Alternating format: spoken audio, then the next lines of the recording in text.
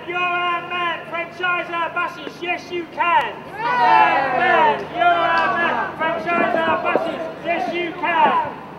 Well, I believe today's campaign uh, outside the Sheffield City region is to get uh, elected Mayor Dan Jarvis to uh, basically uh, bring public transport back into public ownership in a similar way to what they've done in Manchester. Uh, that's uh, achieved through the means of uh, franchising. Hello, it's really great to see everybody here this morning. Thank you so much for coming.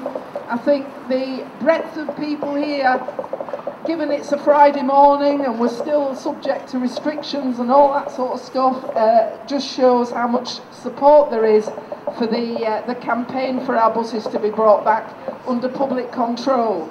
Uh, it's quite interesting that whenever Dan Jarvis talks about the buses, he actually acknowledges the pressure he's been coming under over the issue of franchising. There's an article in this morning's Barnsley Chronicle, which I know most of you won't have seen. He has a regular column there, and it's headed, you know, we need better buses. I think he's uh, stolen the, uh, the slogan from us, hasn't he? Uh, and he actually says, I am aware that lots of people are calling for franchising. It is still an option. He's been saying this for three months. It's still an option on the table. What we're saying is he needs to commit to the idea of franchising, and that then is the first step to what most of us, or if not all of us, actually want, which is public ownership.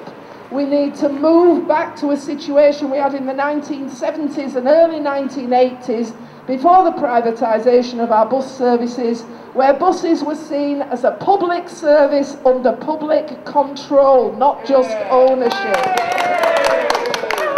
Because even the Tories acknowledge, don't they, in their bus strategy, that privatisation has been a disaster. Fares have gone up, routes have gone down, communities are isolated, passenger numbers have plummeted, car ownership and car use has gone up, with all the results of pollution and congestion as a result. Even the Tories say we need change, I've got a petition that I'm going to hand in this morning that's got almost 300 signatures on, which were collected basically at two pretty short sessions, one in Barnsley, one in Sheffield, where we had lots and lots of people coming up and saying, my bus service has been cut, I can't use it. I spoke to one woman who, need, who, when she wanted to visit her mother in a care home in another area of South Yorkshire, if she travelled by bus, it now takes her four hours to get to visit her mother. It used to take an hour. They cut the service, the direct service. We look at the issue of CO2 emissions. Transport is the, a, a major contributor, and of that, the majority comes from private transport, from private cars. Moving to more public transport is one way of starting to address the climate emergency. And the other thing is about communities and people who are isolated, people who can't get out because they don't have access to public transport. So there's a social need as well. We've had to put up with 35 years of privatisation and deregulation, which has seen the massive decline in the quality of our services, the extent of our services. It's seen a big, big drop in the number of people using public transport. It's now very expensive to travel. When I mean, I, I remember when I first started working on the buses here in 1981, we had a cheap fares policy, a progressive Labour local authority here in Sheffield, Doncaster, Rotherham Barnsley that put some money into a decent bus service which ran all night, 24 hours a day, fantastic frequencies, new buses and crucially cheap fares. And we saw increases in the number of people travelling on those buses every year right up until deregulation in 1986.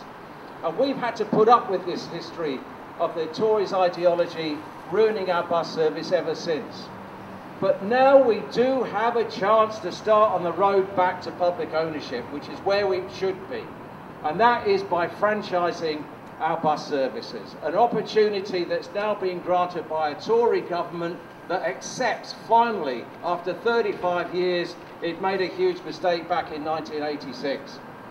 And we need to take that opportunity And Dan Jarvis, the City Region Mayor here, who's in these offices today, and the local authority leaders in Barnsley, Doncaster, Rotherham and Sheffield had a fantastic opportunity last week when they met to decide how to respond to the government strategy paper.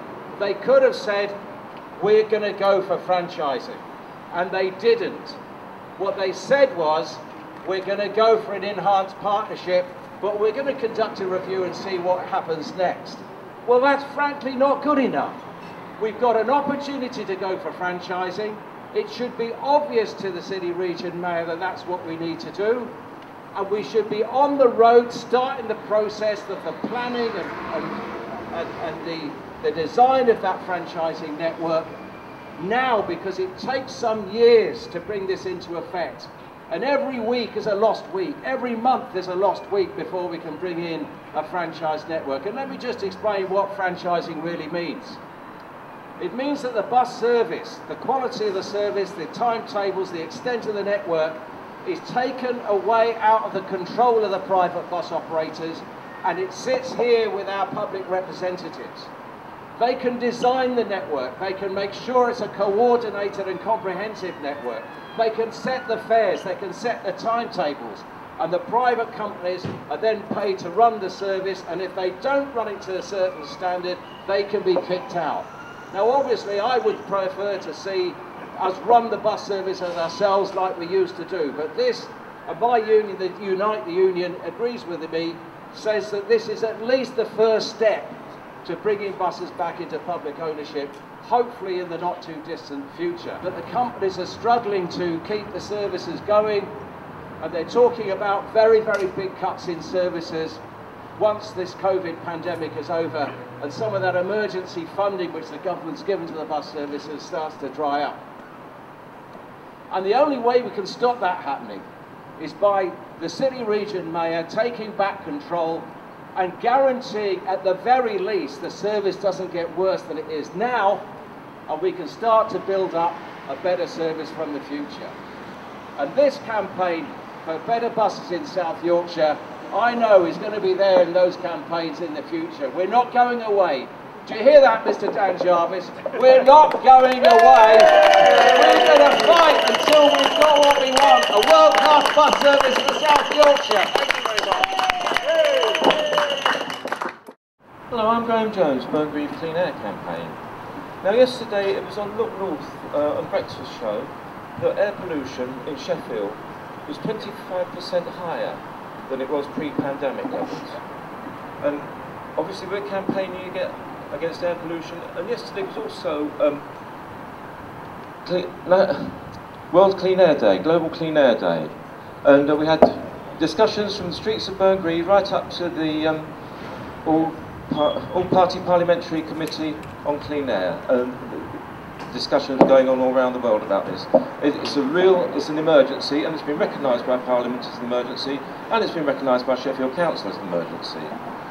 And um, it's caused by traffic pollution, and 90, well, 90% of the world's population suffer as a result of it. And it causes a whole range of diseases, including cancer, lung disease, heart disease, stroke, dementia, diabetes, and I could go on a long time about the disease. It causes in adults, and also in children it causes asthma.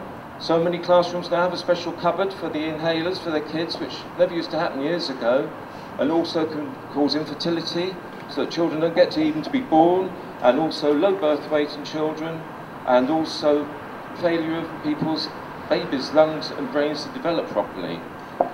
We're facing, you know, it is an emergency, and it's caused by traffic. Um, it's worth just stressing that what they've gone for at the moment, the Sheffield City region, is an enhanced partnership. And as far as I can work out, what that means is they are saying we'll have better bus shelters and we'll have more bus priority lanes, but they're not adopting any control on what buses run where. And what has happened up and down the country with enhanced partnerships in a number of areas, local authorities have done this and they've had state-of-the-art bus shelters and all the rest of it, and then the bus companies have slashed the services. You don't have control over the fares, over the routes, over timetables under an enhanced partnership.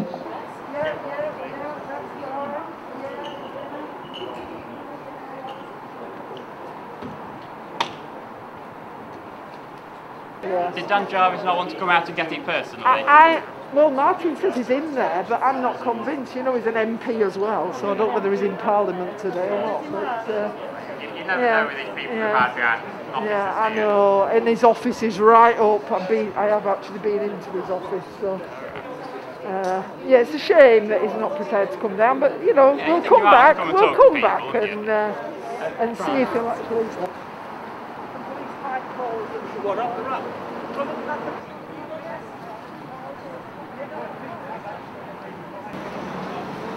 We're calling on Dan Jarvis to take back control of our bus services. And we want franchising now.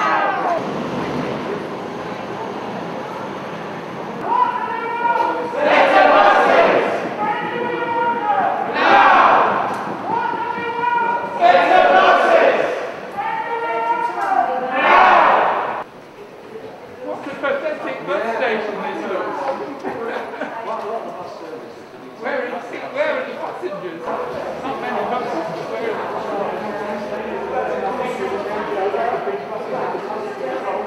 What do we want? When do we want them? Now!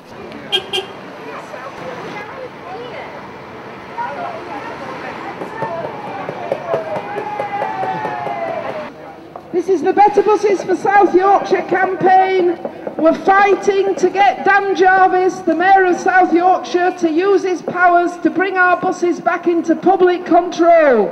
Our bus services are in crisis, fares go up, passenger numbers go down, routes are cut, communities are isolated, people are forced into using their cars even when they don't want to because the bus service is not fit for purpose.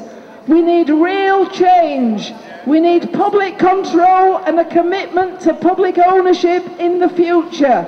The Better Buses campaign brings together trade unionists, campaigners, climate campaigns, clean air campaigns, and individuals who want to see our bus services run properly as a public service for the community, not as a source of private profit where the needs of shareholders of companies like First and Stagecoach come before the needs of passengers and their communities.